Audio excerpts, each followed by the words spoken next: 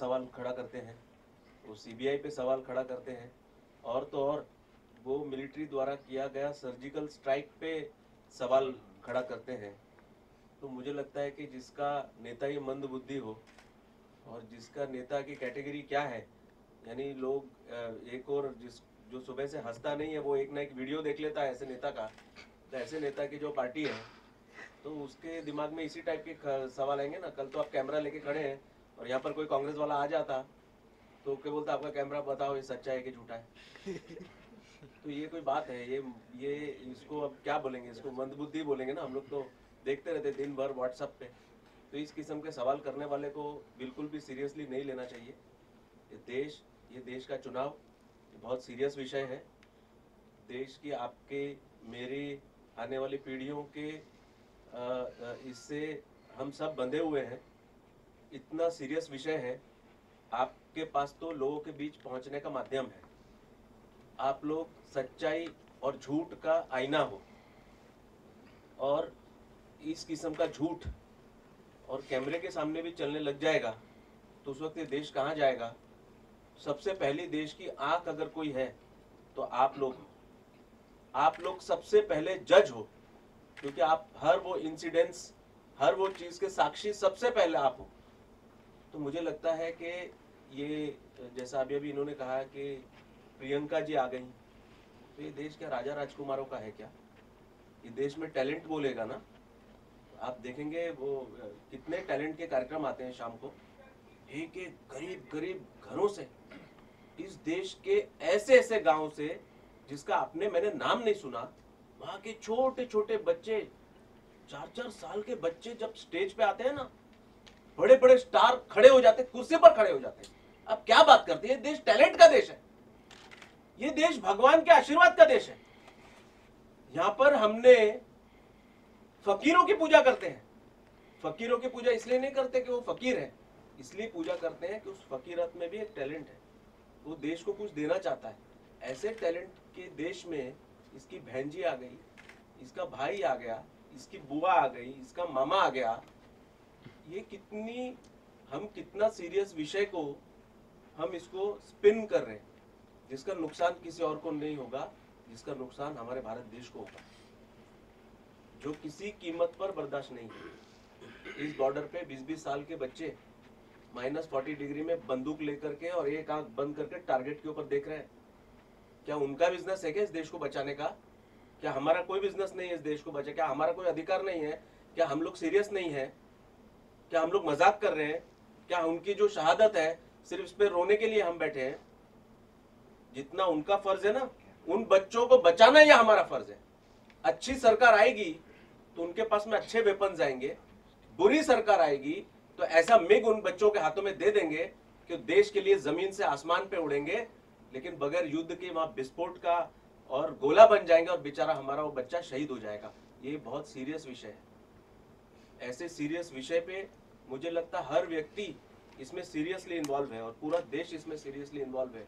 एक और पूरे घोटाले और शैतानियत आपने देखा होगा अभी दो दिन पहले कि पुलिस कमिश्नर को बचाने के लिए एक मुख्यमंत्री बैठ गए उसके दरवाजे पर और पुलिस कमिश्नर ने ऐसा कौन सा दांडी मार्च करके आया था जो एक मुख्यमंत्री बच, बचाने बैठ गई।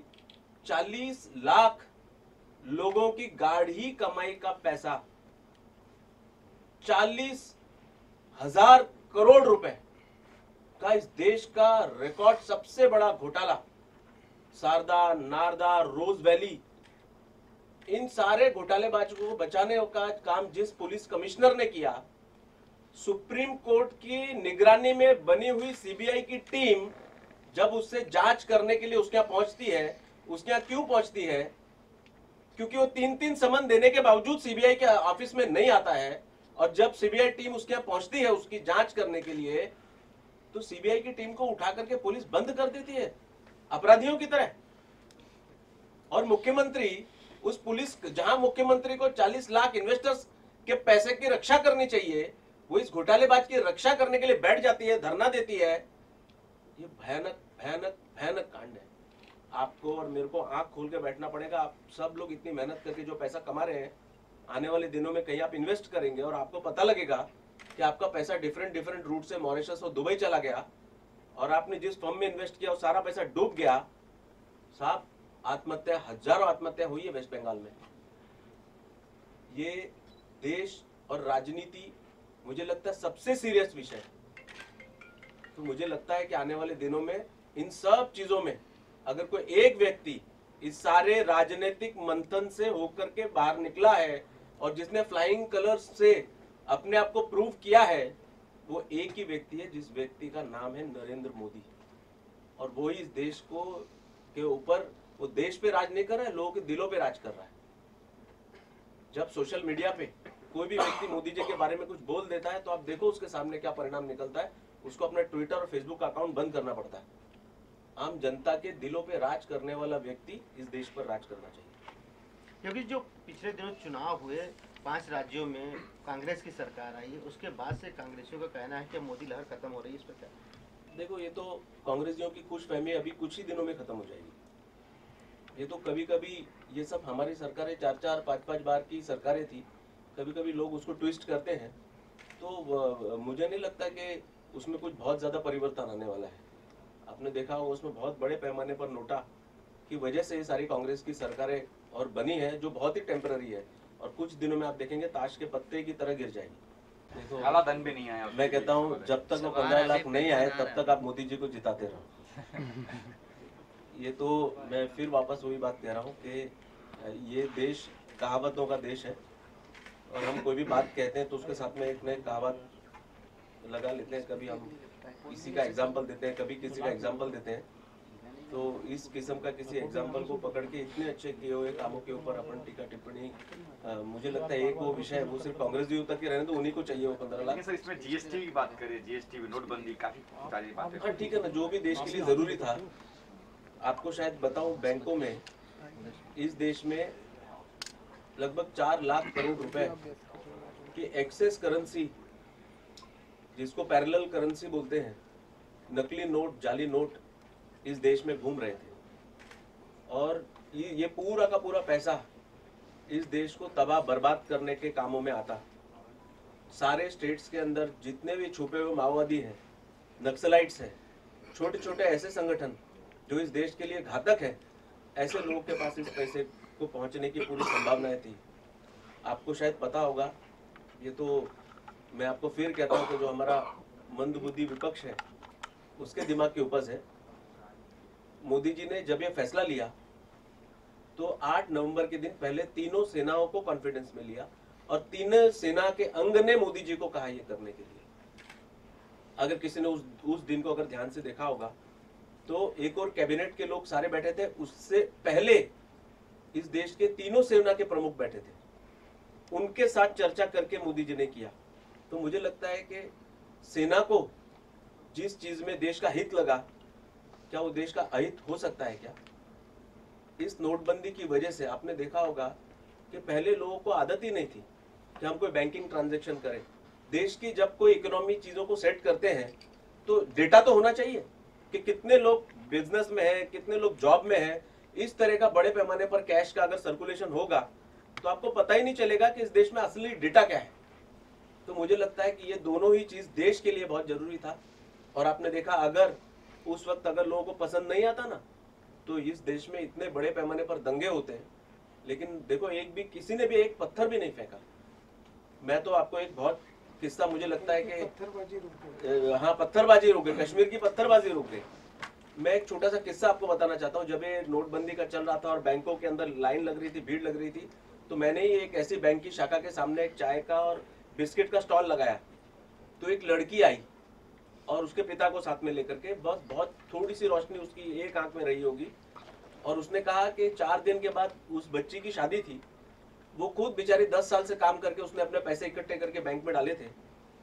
और वो पैसे वो निकाल नहीं पा रही थी और कुछ ही दिनों के बाद शादी थी। और अपने बाप को ऐसे हाथ से पकड़ के वो यहाँ से वहाँ ले जा रही थी। तो उसने हमको कहा कि मुझे पैसे की ज़रूरत है। बहुत भाग दौड़ की हमने, लेकिन उस वक्त आपको पता है कि जो कुछ ही पैसा उन लोगों को मिल पा रहा था तो किसी ने, एक जन ने उस लड़की को कहा कि ये तो बहुत गलत हुआ। लड़की ने तुरंत उसको रोक दिया कि नहीं, मोदी जी ने जो किया है, ये देश के हित में किया है। ये बात जो जो भी उस घटना के साक्षी है, हर व्यक्ति के दिल में थी कि ये बात होनी बहुत ज़रूरी है। हो सकता मेरा कुछ नुकसान हो रहा हो, लेकिन इसमें यहाँ लिखा है ना, देश का नुकसान नहीं होना चाहिए। मेरा कितना भी नुकसान, नेशन फ़र्स्ट, नेशन से बड़ा कोई भी नहीं है। ना मैं हूँ न मेरी जात है, न मेरा धर्म है। इस देश में अगर हमारा सबका कोई नेता है तो हमारा तिरंगा झंडा है। जिसके सामने हम मरने, मारने को भी तैयार है।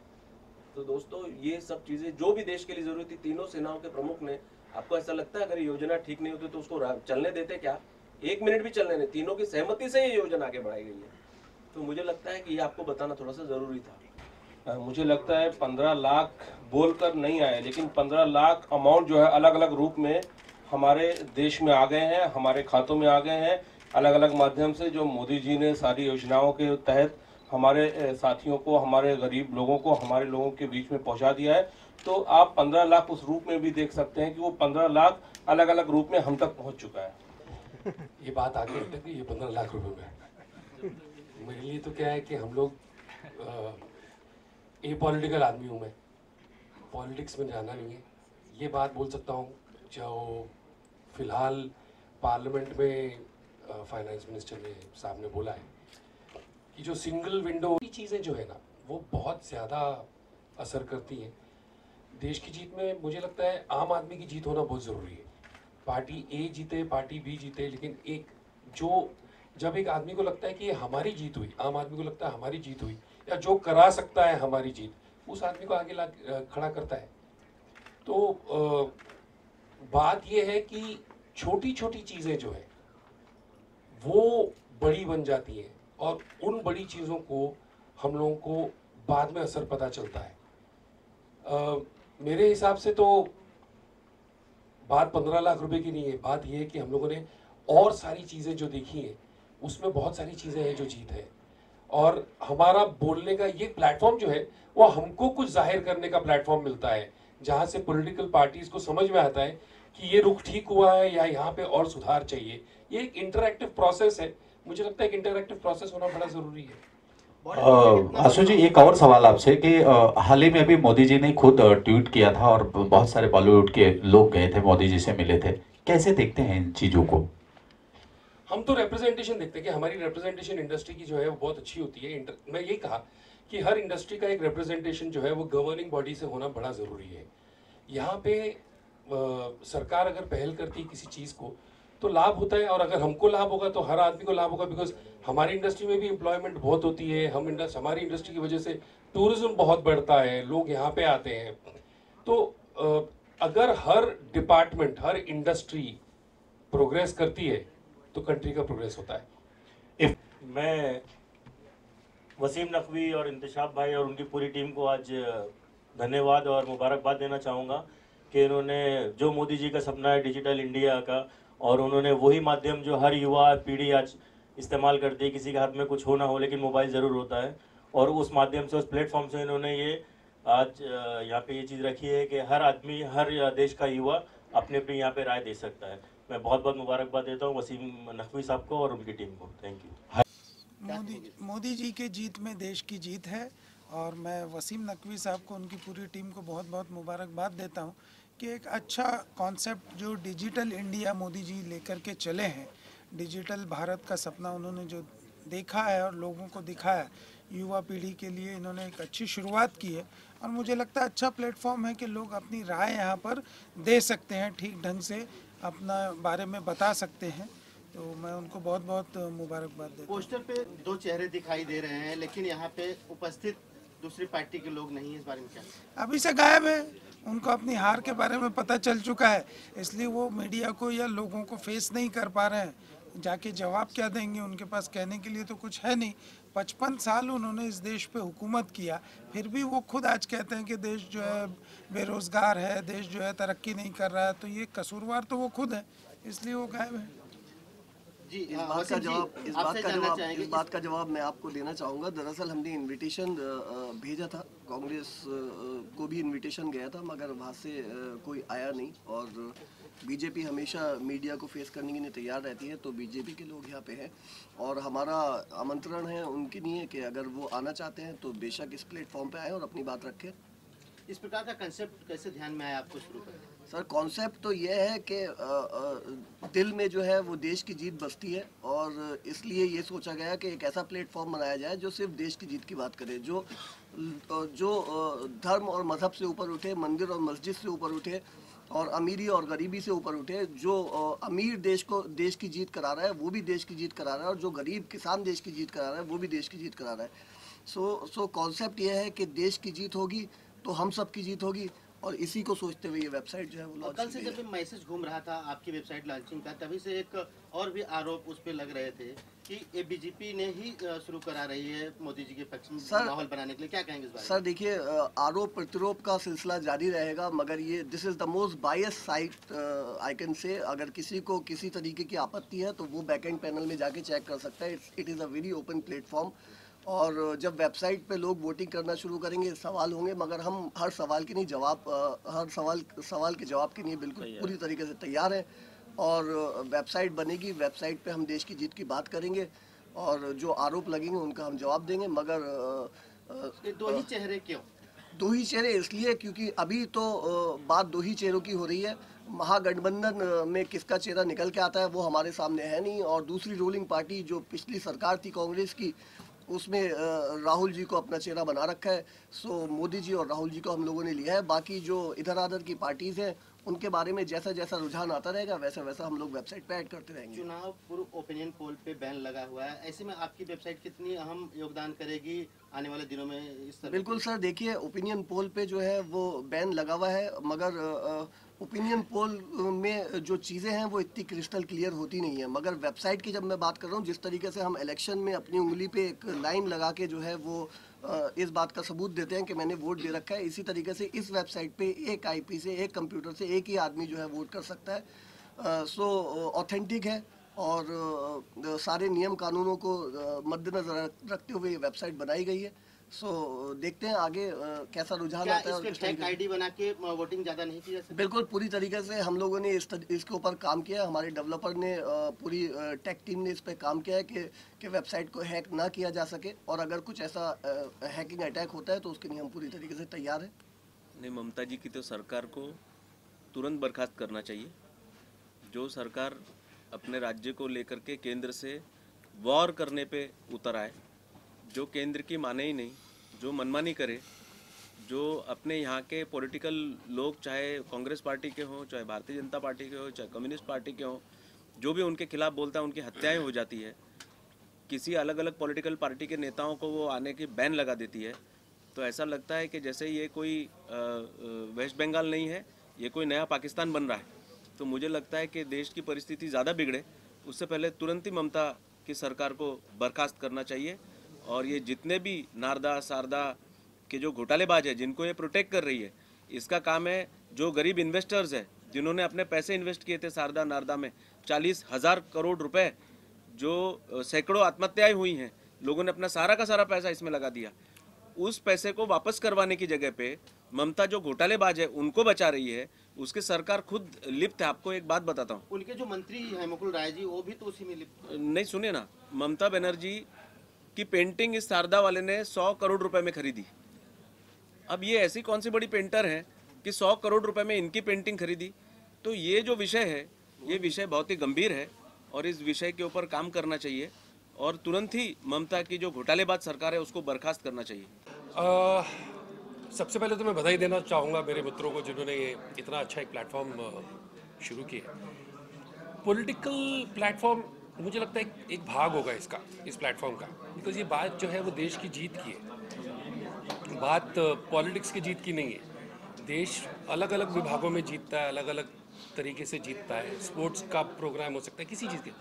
तो क्या एक आम आदमी की प्रक्रिया जानना और उसको व्यक्त करने का एक तरीका जो है एक अच्छा प्लेटफॉर्म है। इट्स अ गुड प्लेस जहाँ पे एक इंटरेक्टिव सेशन हो सकता है आगे तक बातें जा सकती हैं लोगों को समझ में आएगा और मान लो मुझे कोई अपनी बात कहनी नहीं है तो भी मैं प्लेटफॉर्म पे आकर के मुझे पता चल सकता है कि क्या रुख लिया जा रहा है। इट्स अ ब्रिलियंट प्लेटफॉर्म मुझे लगता है कि बहुत आगे तक बढ़ेगा। सिर्फ़ पॉलिटिकल बैक प्लेटफॉर्म नहीं है। अभी पॉलिटिक्स हॉट टॉपिक हो सकता है बट आई एम श्योर कि चार चीज़ें और आएँगी। वो भी आएँगी इसमें मुझे लगता है फ़िल्म इंडस्ट्री को लेकर कोऑपरेटिव है वो दिख भी रहा है बिकॉज़ हमारा रिप्रेजेंटेशन जो है वो परेश जी कर ही रहे हैं वहाँ पे। फ़िल्म इंडस्ट्री की तरफ़ से परेश जी भी हैं किरण जी भी हैं एंड uh, काफ़ी रिप्रेजेंटेशन होता है और बातचीत होती है और आज uh, आज जीएसटी को लेकर के भी उन्होंने जीएसटी टिकट की एंट्रीज में कम की हुई है। लोगों को सुविधाएँ मिलती हैं फ़र्क पड़ता ही है। पर मुझे एक बात बताओ कि ये कब नहीं था? Everybody have no some people have become more vocal now point is that you know there have been political alienation all along some people have been pro congress some have been pro uh, bjp somebody has been pro something else like arvind ji's got his representation within the industry also for a long time as in uh, there's a lot of people who are also supporting up uh, but yet you know what happens is in bollywood when we work together, political alienations become secondary. The primary thing is always the talent that happens. So it doesn't matter. I mean, they can have their affiliations to whoever they want to. Eventually, it is the trade that should benefit. Uh, there have been political films even before. I mean, you're talking about Bollywood. If you look at uh, South, there are so many political films that are happening. Fair enough. So, I mean, of the various kinds of films that are available, political, I mean, and why not? They have their own opinion to say, and they are trying to portray their own opinion in their own way that they can. It doesn't matter. The cigarette factory globally, um the tobacco cartel, did a surrogate ad, uh, advertising of their own when they started uh, making films in Hollywood. They said, no, brand is not important. Just show the protagonist or the antagonist smoking. Doesn't matter. So subconsciously, the advertising of cigarettes started happening. That is their way of using the medium. Everybody uses their medium the own way. Some people make films in the way that they want to or they want to speak about it. They have their own way to do it. Doesn't matter. There are other people also who are actually doing uh, apolitical films. It's a strong medium. People are using it.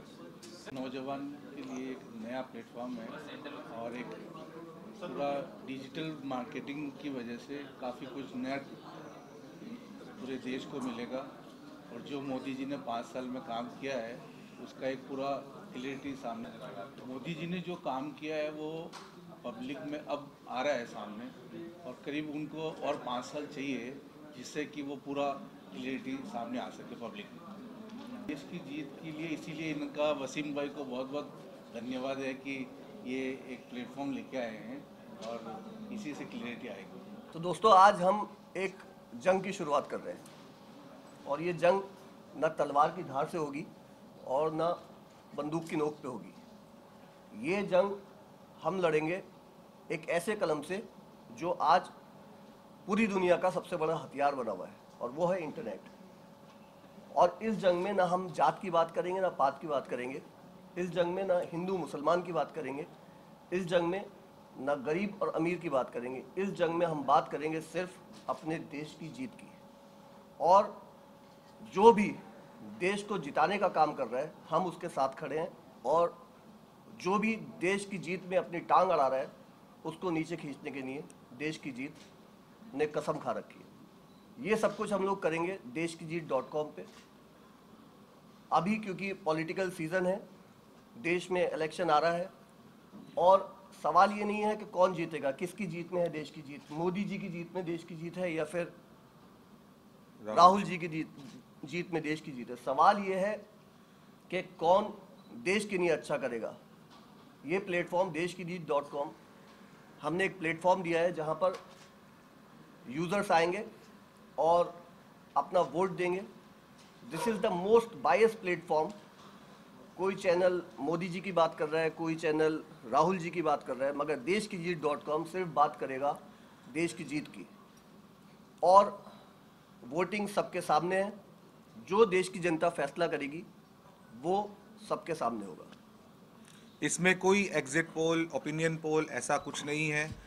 ये एक ऐसा platform है जहाँ पे सब आके vote करके Lok Sabha election से पहले ही सब पॉलिटिकल पार्टीज़ को अपना मैसेज पहुंचाएँगे। कि पूरा देश, देशवासी किसके साथ खड़े हैं? और देशवासियों को क्या लगता है, किसकी जीत में है देश की जीत? कोई भी इंडिविजुअल इस वेबसाइट पे एक ही बार वोट कर सकता है। वेबसाइट फुल्ली सिक्योर्ड रिस्ट्रिक्टेड है। एक एक इंडिविजुअल मल्टीपल वोट्स नहीं कर सकता। So we can be rest assured the voting is not biased to any political party. It's only about the winning of the nation. क्योंकि देश की जीत हम सब की का जो आइडिया था, वो हम लोग ने जो शुरू किया है, ये वसीम भाई और हम लोग सारे लोग ने इंकिंग आइडिया में जो हम सब एक साथ में काम करते हैं। तो ये एक इनिशिएटिव है इंकिंग आइडिया का, जो कि हमने शुरू किया है देश की जीत। सो हम चाहते हैं कि हमारा जो भी यूथ है, जो भी ये पॉलिटिकल जो भी इश्यूज़ हैं पॉलिटिकल इश्यूज़ अगर वो शेयर करना चाहे तो भी वो हम ये प्लेटफॉर्म पे शेयर कर सकता है। और हम हम हमारे व्यू में यह है कि अगर हमारा सिस्टम और हमारा जो भी प्रोसेस हैं गवर्नमेंट प्रोसेस होते हैं या जो भी सिस्टम्स हैं, या एजुकेशन सिस्टम्स है, उसको अगर उसमें चेंजेस होता है तो जो भी सिस्टम प्रॉपर हो जाते हैं तो उसमें हमारे देश की जीत हो जाती है। देखिए, जैसे इन सबने बताया ऑब्वियसली कि देश की जीत का क्या लॉजिक है और क्या मतलब है। मैं बस एक बात कहना चाहता हूँ कि देश की जीत सिर्फ़ यहाँ तक सीमित नहीं है कि हम सिर्फ़ पॉलिटिक्स की बात करेंगे। अगर लड़कियाँ हमारी इंडिया में सेफ़ नहीं हैं, तब ऐसे देश की जीत नहीं होगी। तो ऐसे और भी कुछ मुद्दे होंगे जिस पे हम बात करेंगे कि देश की जीत कैसे होगी और अभी देश की जीत क्यों नहीं हो रही है। तो इसलिए हम सबने ये मिलकर ये प्लेटफॉर्म लॉन्च किया है सो दैट कि हम सारे मुद्दों पे बात कर सकें। और सवाल यह है कि ये ये प्लेटफॉर्म कुछ ऐसा प्लेटफॉर्म नहीं है जो हमने एक दो दिन में तैयार करके खड़ा कर दिया है। सालों की मेहनत थी, बहुत साल से डोमेन बुक कर रखा था, बहुत साल से इस बारे में विचार किया जा रहा था। सही टाइम का इंतज़ार किया जा रहा था और आज ये वेबसाइट लॉन्च हुई है। और मेरी गुजारिश है हिंदुस्तान के हर उस इंसान से जिसके दिल में जो है वो देशभक्ति भरी है कि वो इस वेबसाइट पे आए और हमारा साथ दे और लोगों को बताए कि वाकई में कौन जो है वो देश को जिता रहा है किसकी जीत में देश की जीत है। अगेन मैं कहना चाहूँगा, आप वेबसाइट पे जाइए, www.deshkijit.com अपना वोट दीजिए। जिस तरीके से आप अपना वोट देते हैं इलेक्शन में, उंगली पे निशान लगा के एक एक आदमी एक वोट दे सकता है। इसी इसी तरीके से हमारी वेबसाइट पे भी सिर्फ़ एक आदमी एक वोट दे सकता है। और अगर किसी को वेबसाइट की ऑथेंटिसिटी पे कोई शक हो, वो हमारे एडमिन से कांटेक्ट कर सकता है। Again I am telling you this is not for any political party not for any individual this is for देश की जीत। ये वेबसाइट लॉन्च हुआ है, उसके लिए वसीम साहब को और उनकी पूरी टीम को बहुत बहुत मुबारकबाद देता हूँ कि एक अच्छा प्लेटफॉर्म उन्होंने तैयार किया है ताकि लोग जा कर के अपना चॉइस वहाँ पर बता सकें और लोगों को अपना राय रखने का उन्होंने एक मौका दिया इसलिए उनको बहुत मुबारकबाद। देखिए, देश की जीत तो प्रधानमंत्री मोदी जी के साथ ही है और मोदी जी की जीत में ही देश की जीत है। पिछले पौने पाँच सालों में लगभग पाँच साल होने को आ गए हैं। मोदी जी ने जो काम किया है देश नहीं, पूरी दुनिया में भारत का नाम जो है उन्होंने रोशन किया है। हर देश में जाकर के उन्होंने पहले जो हमारा सम्मान था धीरे धीरे कम होता जा रहा था।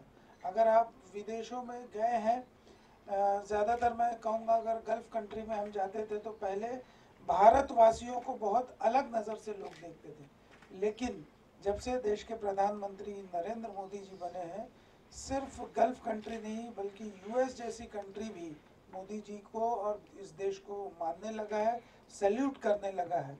और वो दिन दूर नहीं है कि मोदी जी दोबारा प्रधानमंत्री बन करके इस देश को दुनिया में नंबर वन बनाएँगे। देश के मामले में फिर अलग अलग पार्टी नहीं होती। वहाँ हम सब भारतीय होते हैं, वहाँ सब हम हिंदुस्तानी होते हैं। इसलिए जब देश का मामला है तो सबको मिलजुल करके उसमें जो सरकार रहती है उसको मदद करनी चाहिए। उसमें कोई मतभेद नहीं होना चाहिए। हमारे प्रवक्ता है मुंबई के योगेश वर्मा जी। उनसे भी सवाल करें वो बेहतर जवाब प्रियंका गांधी भी आ चुकी है मैदान में। लगता है कुछ फ़र्क पड़ेगा उससे। देखिए ऐसा है कि सबको राजनीति करने का हक है और अब कांग्रेस के पास कुछ नहीं बचा है तो उन्होंने सोचा कि चलो प्रियंका को ला करके ट्राई कर ले। राहुल जी तो पूरी तरीके से पिटे हुए हैं। तो प्रियंका को आगे करके कोशिश कर रहे हैं लेकिन उससे कुछ फ़र्क नहीं पड़ेगा। मोदी जी के सामने अ, मैं कहूँगा कि इनकी कोई हैसियत और औकात ही नहीं है कि उनकी बराबरी करें। प्रियंका पाँच जीत चुके हैं। अभी आपके जो ये वेबसाइट लॉन्च है एक दो दिन में ही आपको पता चल जाएगा कि देश कौन जीत रहा है। और अगली सरकार किसकी बनेगी? यहाँ पे भी हम देख रहे हैं कि यहाँ पे बीजेपी वाले ही नज़र आ रहे हैं। यहाँ पे कांग्रेस का कोई नेता यहाँ पे मौजूद नहीं है जबकि यहाँ पे दोनों को दोनों को मुँह छुपाते भाग रहे हैं उनके पास जवाब देने के लिए कुछ नहीं है। तो इसलिए वो आएँगे क्या और आपको इस सामने बात क्या करेंगे? हमने पाँच सालों में काम किया है देश के लिए काम किया है लोगों के विकास के लिए काम किया है इसलिए हम जनता के सामने जा रहे हैं मीडिया के सामने जा रहे हैं और हमारे पास बोलने के लिए बहुत कुछ है। तो हमको मुँह छुपाने की ज़रूरत नहीं है। मुझे लगता है देखिए ऐसा है कि देश की जनता तय करेगी कि पीएम का दावेदार कौन है और अगला पीएम कौन है। लेकिन जिस तरीके से प्रधानमंत्री बनने के लिए जो होड़ लगा हुआ है तो मुझे लगता है कि प्रधानमंत्री की कुर्सी हटा करके दरी बिछा देना चाहिए और सबको उस पर मौका देना चाहिए बैठने का।